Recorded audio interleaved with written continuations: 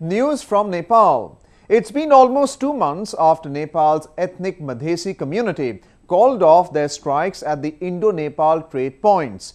But the black marketing of essential goods and commodities continue to prevail in the country's southern region, which is mainly dominated by Madhesi community. Locals allege that the markets in Madhesi-dominated areas are not getting the proper share of the supply.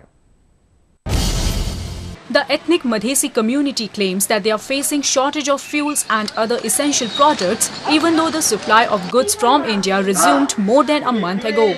Despite of over 70% of imports flow through the Birgunj Raxaul trade points, locals complain of rampant black marketing. They have also urged the government to take note of the situation and resolve the problem soon. Madhesh का मांग नहीं मिला अभी तक। और बाज़ार दुकान हर कुछ खुल गया है। और खुलने के बाद भी यहाँ पर कला बाजारी बहुत अभी ज़्यादा हो चुका है। ना गैस मिल रहा है ना तेल मिल रहा है समय से। लेकिन अभी तक हमारे क्या है कि मधेश में यहाँ पर कला बाजारी अभी कोई बंद नहीं हुआ है। और बहुत सामान जो है अभी तक उपलब्ध नहीं हो रहा है। इसीलिए अभी तक हमको बहुत यहाँ पर जनता अभी समस्या में है। उस समस्या का समाधान कैसे होगा? सरकार कितना गैर है? सरकार को ये सोचना चाहिए।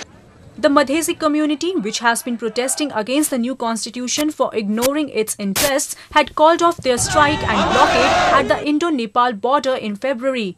The decision had brought relief to the Himalayan nation, which was severely short of fuel, medicine and other supplies in the wake of blockade.